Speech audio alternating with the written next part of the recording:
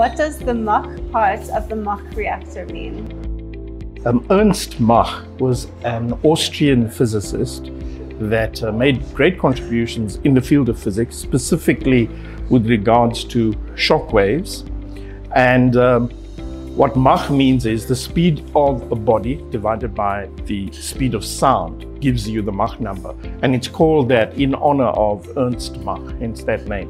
Now we named the Mach reactor Mach reactor because of the supersonic speeds of the jets that split the cavitating bubbles, which is a key feature of the Mach reactor. And we thought that would be quite appropriate.